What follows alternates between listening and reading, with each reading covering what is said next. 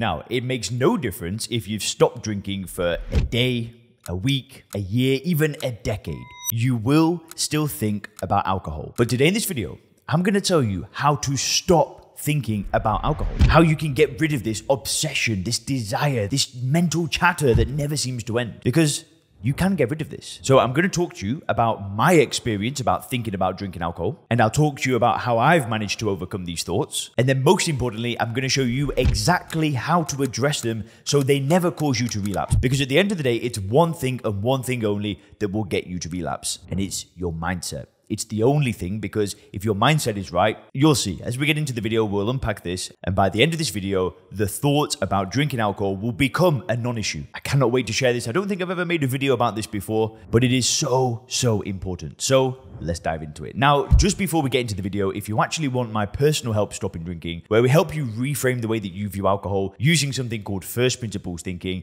I've had clients in places like NASA, Forbes, JP Morgan, Google, PayPal. I've been featured in Men's Health, Unilad at the BBC. And the program is a new method that helps to address the root cause of drinking, which is the conditioning. So if you want more details on the Sober Clear program, click the link in the description and book a call. You and I can jump on a call and see if this program could be a good match for you. So if you want more details, please click the link below. And now let's get into the video. So firstly, guys, let me unpack my experience with thinking about drinking alcohol because I am somebody that's overcome these thoughts. So I think it's important for you to understand what I did wrong in the past and how I've managed to overcome it today. So I tried to stop drinking alcohol for about a decade. I was highly motivated to stop most of the time, but I could never seem to crack it. I'd always seem to go back to drinking some way or the other. And if I could describe every attempt to stop drinking alcohol with one word, I would say that I was always obsessed. I never removed the obsession to drink. I'd tell myself, right, Leon, today's the day that you're not going to drink alcohol. And then by nighttime, I can't stop thinking about alcohol. And then uh, it turns into a craving. And before you know it, I'm at a bar you know, I'm, I'm, picking up a bottle of wine at the shop. I'm doing something. I'm drinking something. I could never remove the obsession. And that was the same when I was drinking. I was constantly thinking about drinking. When am I going to get my next drink? If I was, let's say, going to meet somebody and they didn't drink, I'd be thinking about, okay, well, I'll go meet that guy, have dinner, I'll have one beer, and then I already knew I was going to go after that. It, I was always obsessed about drinking. I was always thinking, when am I going to drink? How am I going to drink? How much am I going to drink? Who am I going to drink with? It just dominated my thoughts. Now, there have been periods of my life where I did stop drinking and, you know, I might have hit like a, a, mini rock bottom. Like, you know, there was a time where I was, I've told you guys before, but I threw up blood on a computer. And that was enough to get the ball rolling for me. And I actually stopped drinking for seven, eight, nine months. I can't remember the exact dates. But during that time, the thoughts were a lot less because I'd hit this dark place where I really just hated alcohol. I did still think about alcohol, but because I was using willpower, there was a time where the thoughts spiraled into a craving and I ended up drinking again at a New Year's Eve party. But these days, it's totally different because I did tell you that I would show you how to stop thinking about alcohol, but I'm going to let you in on a secret. I still think about alcohol. And guess what? Every single person that I've worked with in the Sober Clear program also still thinks about alcohol. And guess what? In 10 years' time, they still will think about alcohol. In 10 years' time, I will still think about alcohol because it's impossible to not think about alcohol. Because just think about it for a second.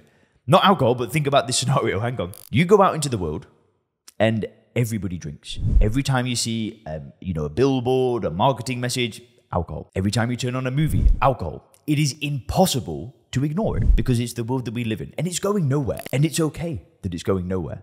But you will still think about it. But the difference for me now and for the people that I've worked with is how we're equipped to deal with those thoughts. And this is the thing, is their thoughts.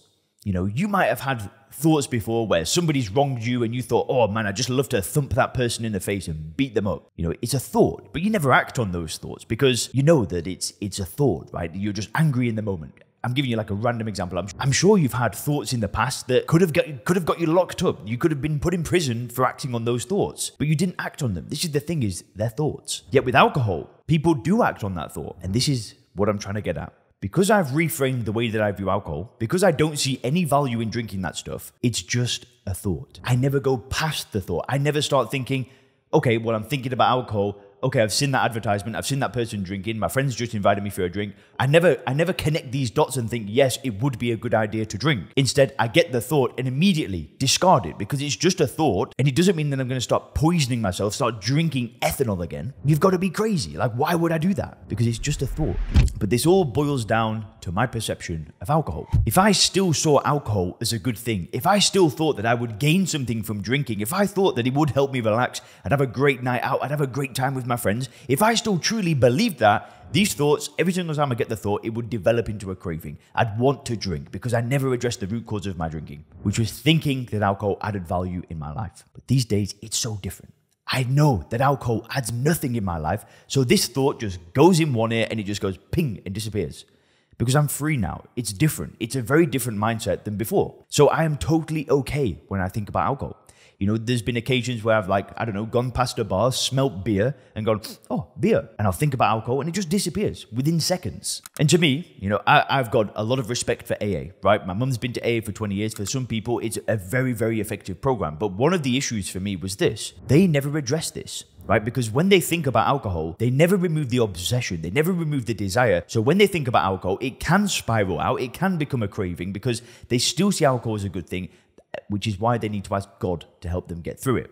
Now, I'm not saying that that's a bad thing, right? Asking God to help you do something is not a bad thing. You know, I've got many religious people in my program. I've got Christians, I've, there's, there's Jews, there's Muslims. There's a, there's a mixture of people in the program. But none of them have ever told me that God helped them get through the past year that they've not drank. Not a single one. Because this is the beautiful thing.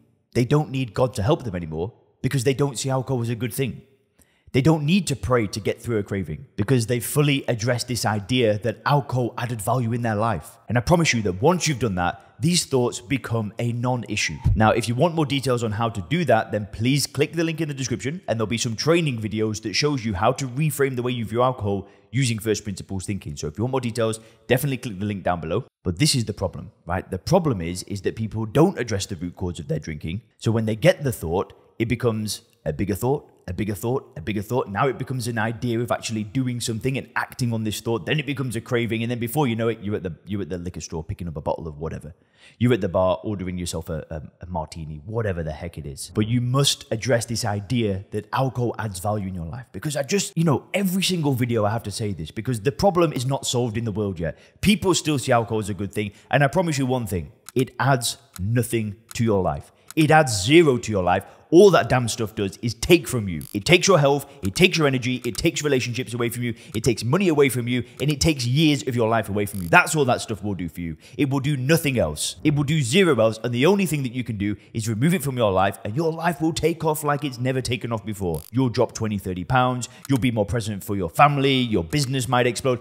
Great things can happen when you remove alcohol from your life. And that mm-hmm. becomes easy when you address this root cause, when you're able to see it for what it is, then these thoughts just literally bounce off you. So, again, if you want to do it together, click the link in the description, book a call. Let's see if working together could be a good match. And if you click the video on the screen now, you can learn how Ramona stopped drinking alcohol. She's not actually drank for two years now. It's a bit of an older interview, but you definitely want to check it out.